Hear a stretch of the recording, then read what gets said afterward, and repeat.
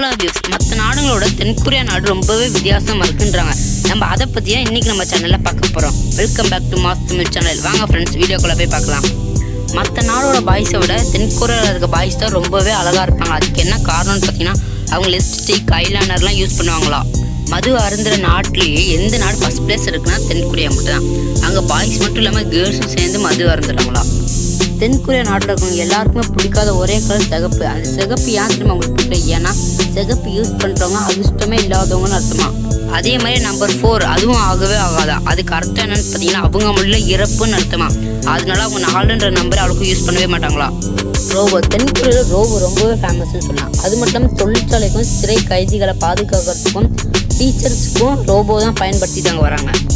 Lovers day அன்னைக்கு பார்த்தீங்கன்னா நம்ம நாட்டிலலாம் பாய்ஸ் தான் போய் கேர்ள்ஸுக்குலாம் கிஃப்ட்டு கொடுத்துட்டு சந்தோஷப்படுத்துவோம் ஆனால் அங்கே இருக்கவங்களாம் பார்த்தீங்கன்னா கேர்ள்ஸ் தான் கொண்டு போய் பாய்ஸுக்கு கொடுப்பாங்களா ஏன்னா அவ்வளோ அழகாக இருப்பாங்களா பாய்ஸ்லாம் அவ்வளோதான் கைஸ் நம்ம பார்த்த விஷயத்தில் உங்களுக்கு எந்த விஷயம் பிடிச்சிருந்துச்சுன்னு கமெண்ட்டில் சொல்லுங்கள் அடுத்ததாக எதை பற்றி வீடியோ போடலாம் கூட கமெண்ட்டில் சொல்லுங்கள் நான் வேணால் போடுறேன்.